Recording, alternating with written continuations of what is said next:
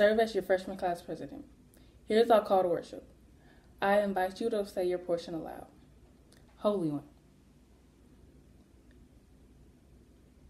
May we speak truth. May we pray in faith. May we sing with joy. May we listen with our open minds and receptive hearts, so that your words may give grace to us who hear. Amen. Let us pray. Lord, I just come to you today to simply say thank you. Thank you for your love. Thank you for protecting us in these two pandemics. I pray that everybody is safe and secure in the midst of the storm. That he still that that we still have you by our side. In Jesus' name I pray. Amen.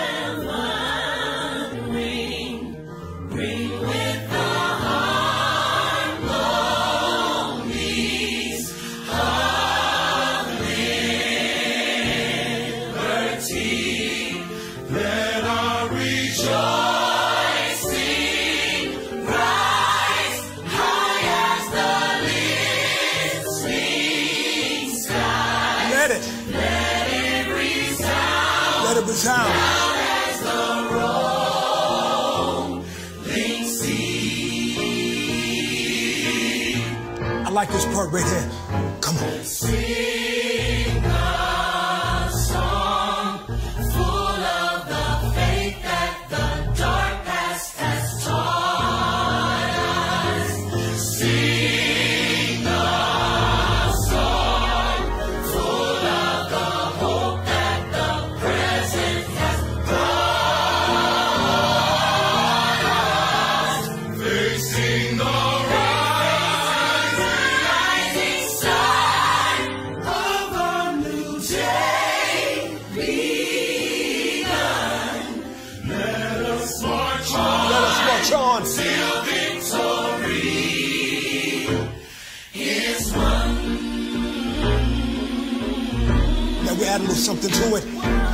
Encourage you.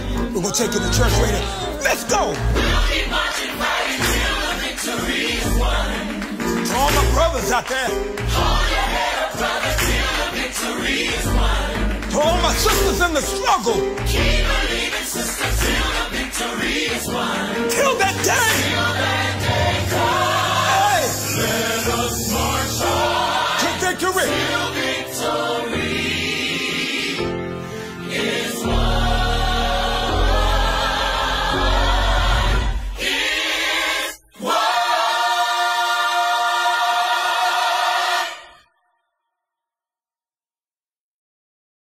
Amos chapter 9, verses 11 through 15. And I'll be reading to you from the message translation. And it reads this way But also on that judgment day, I will restore David's house that is fallen to pieces. I'll repair the holes in the roof, replace the broken windows, fix it up like new. David's people will be strong again and seize what's left of enemy Edom. Plus, everyone else under my sovereign judgment, God's decree, he will do this. Yes, indeed, it won't be long now, God's decree. Things are going to happen so fast, your head will swim. One thing fast on the heels of the other, you won't be able to keep up. Everything will be happening at once.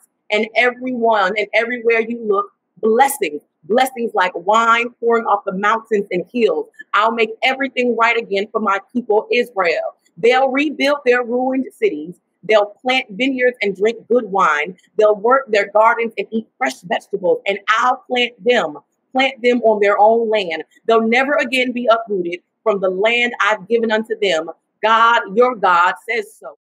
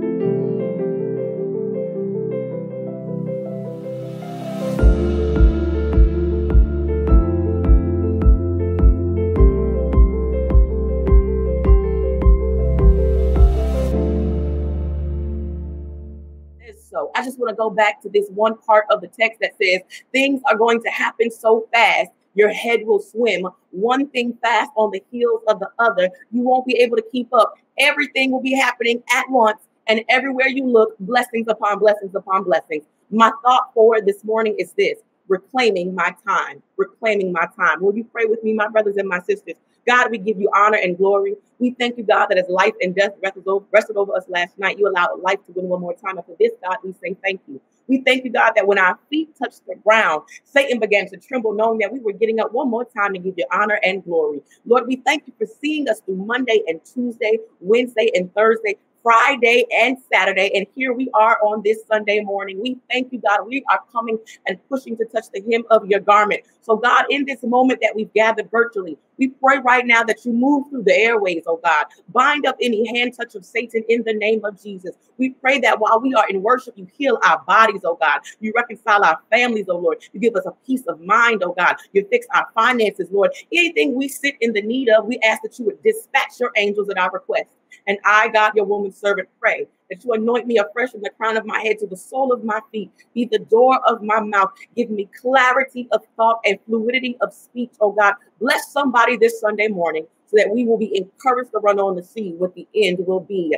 These things we pray in the name that is above every name, and that name is Jesus the Christ reclaiming my time, reclaiming my time. I know that this is not a title or a hashtag that you have not heard before. So let me offer you a new hashtag as the I homiletic founder. Hashtag 2020 can't have it. Hashtag 2020 can't have it. Reclaiming our time. We know that reclaiming my time came from a bad sister by the name of Maxine Moore Waters. Late July 2017, when U.S. Representative for California Maxine Moore Waters asked Mnuchin why his office had not responded to a letter from her office regarding President Trump's financial ties to Russian banks, Mnuchin prefaced his direct response to the question with a series of formalities, mostly compliments to Waters. Waters, however, was clear that Mnuchin might be stalling in order to avoid answering the question. Therefore, she put to use a phrase rooted in the House floor procedure to redirect him, reclaiming my time. This phrase has taken the internet by storm, memes and apparel, and we've heard it over and over again. But it is still a clarion call we need to protest and declare that rings out beyond the congregational floor in 2020. We still need to be able to declare, I'm reclaiming my time. Why? Because 2020 has been treacherous. COVID 19 has taken people out of our lives that we least expected. We've experienced personal deaths in our family. We've seen the deaths of major figures, civil rights activists, and even our own Wakanda Black hero. We have seen the death and loss all around us. There's been a change in how we do everything we eat, uh, how we go shopping, how we live at home, how we go to school. And we're waiting for things to return back to normal if there ever is a normal. COVID 19 and the double pandemic of racial injustices have brought to life the anxiety, fears, doubt that we as a people of color have been experiencing. And if we're honest with ourselves, or some of our personal issues have seen the surface in such a way we've never seen before marital issues, uh, family issues, uh, economic issues, uh, educational issues. We're seeing things in a whole new way because we have had to have a global pause to reevaluate what's happening. But I want you, my brothers and my sisters, to declare in these last few months of 2020 that we are reclaiming our time. 2020 can't have it. Reclaim is a verb. It means to retrieve or recover something previously lost, given, or paid for, to obtain the return of something you've already owned and was challenged or stolen, or that we put aside here in these last and few days of 2020, we are reclaiming our time. Re is a preposition in the matter of news, typically is the first word in the heading of official document, meaning to confer what is ours. And today, my brothers and my sisters, I dare you to open your mouth and say, We are reclaiming our time. Claiming is a verb or present participle to formally request or demand, say that one owns or has been owned. And today we are reclaiming our time, our joy, our happiness, our family, our loved ones, our jobs, our education, our peace of mind. We are reclaiming it today. And today we formally request to take back everything that belongs to us, uh, whether it was lost as a result of something we've done on our own or because the enemy came and snatched it ourselves. But today we discover that there's a lesson in Amos uh, that we can indeed reclaim our time. Amos is one of the 12 minor prophets, an older contemporary of Hosea and Isaiah. Amos was active between uh, 760 and 755 BCE during the reign of Jeroboam II, and he was from the southern kingdom of Judah, but preached to the northern kingdom of Israel. Amos wrote at a time of relative between the very and the very poor. He was a prophet of social justice. He spoke of God's omnipotent power and divine judgment. It became a staple of his prophecy. There are nine chapters in Amos where he spent about eight and three fourths chapters when he spoke of God's terrible judgment. However, he takes a turn for hope in these last few verses we find ourselves in in chapter 9. We find that he writes to indeed declare we can reclaim our time. How? I'm so glad you asked. We first have to look at God's promise. Verses 11 through 12 tells us of God's promise. The, the verses reference that David's house in the tabernacle of David became a place where David desired to dwell, but it had fallen apart, uh, that the windows were broken, uh, the roof needed to be repaired, uh, things were going away, falling and becoming decay. The royal family was so impoverished uh, that it was a power of bridge, the honor to sustain, and it needed to be laid in dust. Uh, but God promised uh, that this tabernacle would be restored, repaired, and replaced. Hear me what I'm saying. The text tells us that God is going to fix every single thing that was broken. It was a promise to David and his descendants. And I believe that David's journey and promise also belongs to us. Uh, that despite what mistakes we've made in our life, despite what people have had to say, God's promise is that I will restore, repair, and replace. Uh, and it's so good to know uh, that God's promise outweighs our mistakes, our bad decisions, our family drama, our current circumstances, COVID 19, a double pandemic, that the plots and plans of people cannot stand against the purpose and anointing that God has on our life. God says in Amos uh, that every single piece of this tabernacle, this house will be restored. Uh, metaphorically, that means for us, uh, our heart will be mended again, uh, our mind have peace again, uh, our body will be healed again, our finances will be fixed again, our family will be loving again, our job will be stable again, this nation will be healed again. And I believe the promises of God. Uh, the promise of God is yea and amen. And because God's promise is still firm in 2020, not COVID 19, not police brutality, Nothing can take away the promises of God. If God said it in Amos, surely God is saying it in 2020. The promises of God are saying that I will be restored, that I will be repaired, that things will be replaced. And I'm so glad that God's hand is still on our life, that God is that kind of God. The promises of God, in order to reclaim our time, we must rely on the promises of God. And what are the promises of God? That we will be the head and not the tail, that we will be the lender and not the borrower, that indeed we can do all things through Christ who strengthens strengthens us. Uh, the promises of God says, Yea, we are more than conquerors, uh, and no weapon uh, formed against us shall prosper. We can reclaim our time first by knowing uh, that God's promises are still true, uh, and what God has said shall come to pass. Uh, and God said that I will restore repair, and replace. Now, let me tell you this that that process is not kind and it doesn't always feel good. That when God is doing God's work, that sometimes we are uncomfortable. Many of us can testify that we're uncomfortable right now with some of the things going on in our life. Uh, but isn't it good to know uh, that even in your discomfort, God is moving behind the scenes? Uh, I'm so glad uh, that when people think you ought to be unemployed, uh, God is still providing. Uh, I'm so glad that when doctors can't find the resolve, that we serve a miracle kind of God, that by his stripes that we are healed. I'm so glad that when people count us out, God has counted us in. And I am elated this morning to share with you wherever you are that there's no problem uh, too big for the God that we serve. Uh, there's no problem uh, too big for God to solve. Not even COVID 19, not death and grief and sorrow, not unemployment, not foreclosure, not repossession. We serve a God who will replace, restore, and repair. That's what God says in Amos chapter 9, verses 11 11 through 12 promises the restoration of something that people thought was decaying. But not only that, we get to verse 13 and not just God's promise, but God's turnaround time. Time. I spent some time in Atlanta, Georgia. And of course, you can't live in Atlanta, Georgia without encountering the AUC. And I remember meeting young men from Morehouse who would declare a story about Martin Luther King that while he was a student on campus, he would holler out, uh, How long? And his colleagues will respond, uh, Not much longer. My brothers and my sisters, uh, God's turnaround time in verse 13 tells us that God's turnaround time won't take long at all. We can think that we are behind, but indeed we are right on time. God's timing. God is the author and the finisher of our faith uh, and faith. And you need to understand that God has told us uh, that we do not understand a chronos, uh, but God is moving in kairos.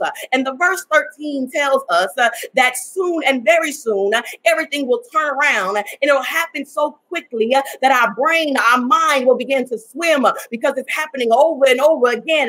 The verse says that when we look, wherever we look, there will be blessings. I'm so glad to know uh, that that's God's turnaround time. Uh, and you need to hear this, my brothers and my sisters. Uh, wherever we find ourselves, God is in control and God will be able to reposition us in such a way that even if it's not our turn, it shall be our time. Can you imagine things happening so quickly? The turnaround time that your head is swimming, blessings upon blessings where you feel way up. I feel blessed.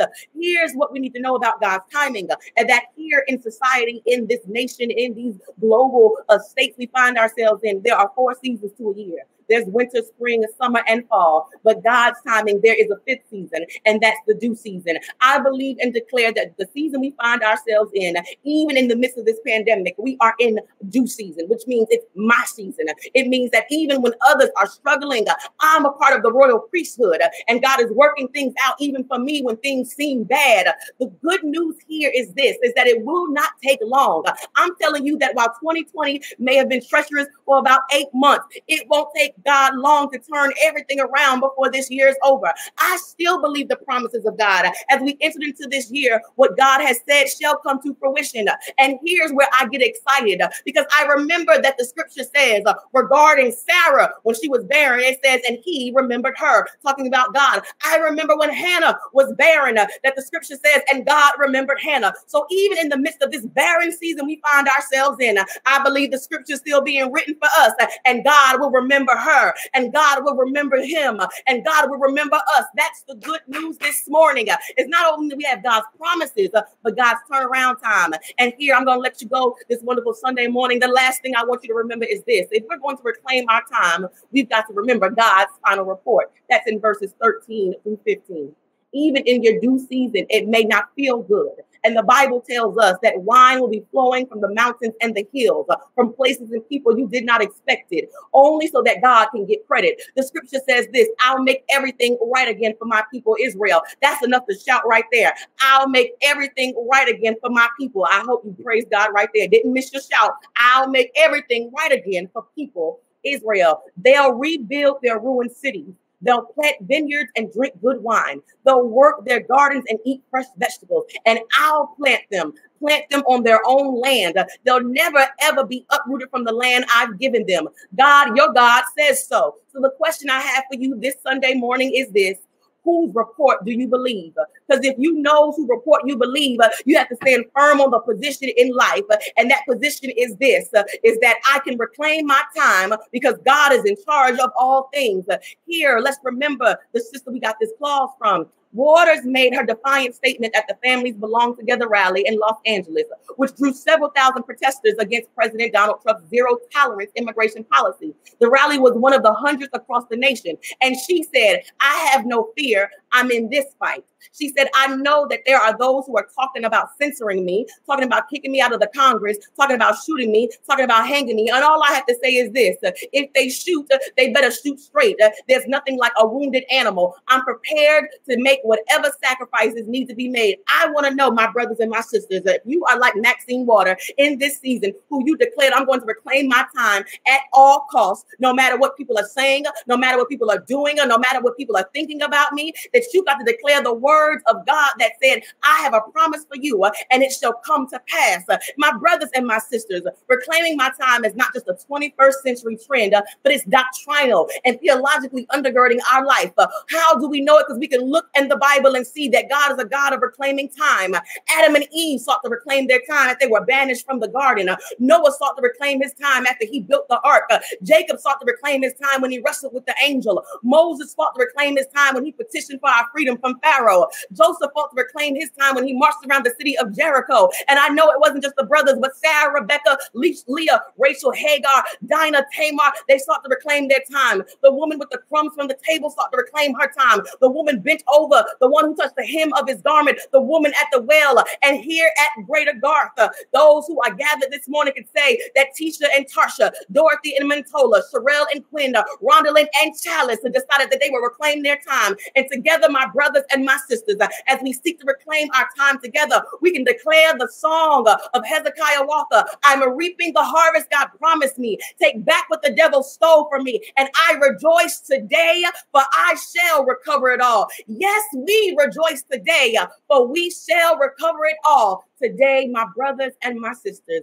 declare to yourself, declare over your family, declare over your job, declare over your education, declare over your community. Let's declare over this nation that we are reclaiming our time. In the name of the Father, the Son, and the Holy Spirit.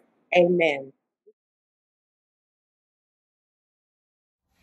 Dear Heavenly Father, God, first I come to you, first saying thank you, God. Thank you for a new day. Thank you for life and life more abundantly, God. Thank you for a mind stayed on you, eager to do your work, God.